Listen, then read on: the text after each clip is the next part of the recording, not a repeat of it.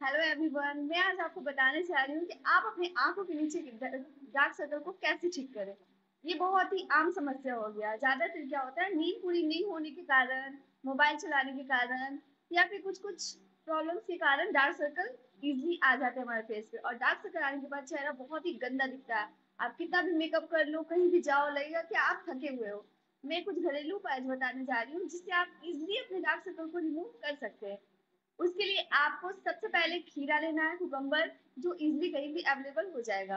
Cucumber को आप कद्दूकस कर लीजिए, उसका जूस निकाल लीजिए और उसके साथ साथ आलू पोटैटो उसको भी कद्दूकस करके उसका जूस निकाल लीजिए। दोनों के जूस को मिक्स करके आप किसी बॉटल में स्टोर कर सकते हैं, उसे फ्रिज में रख सकते हैं। उसे कॉटन के सहायता से आप दिन में दो से तीन बार और रात में भी उसे अप्लाई कीजिए। उससे आपका डार्क सर्कल बहुत ही इजिली रिमूव हो जाएगा। उसके साथ साथ आप जो भी खीरा का और पोटैटो का कद्दूकस जो किए हैं, उसको पेस्ट बनाकर आप उसे भी अप्लाई कर सकते हैं। इजिली आपका डार्क सर्कल रिमूव हो जाएगा और पानी ज़्यादा से ज़्यादा क्वांटिटी में पिए, क्योंकि अगर आपके फेस में डार्क सर्कल होंगे तो वो बहुत ही गंदा दिखेगा, बहुत ही बेजान और आप लगेंगे कि आप कितना भी फ्रेश हो, आप लगेंगे कि आप थके हुए हो।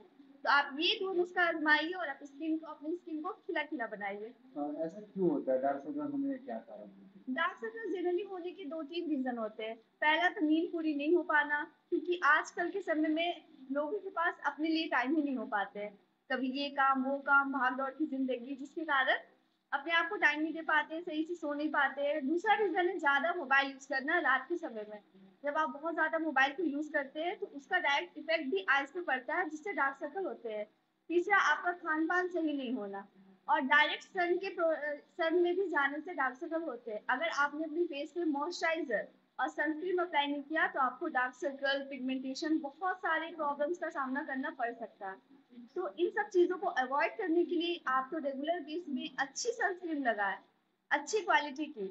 और साथ ही साथ होम रेमेडीज लगाएँ बहुत ज़्यादा आप केमिकल यूज़ ना करें अपने फेसों पर अपने फेस को खिला खिला और जानदार फ़र्क दिखने लगेगा?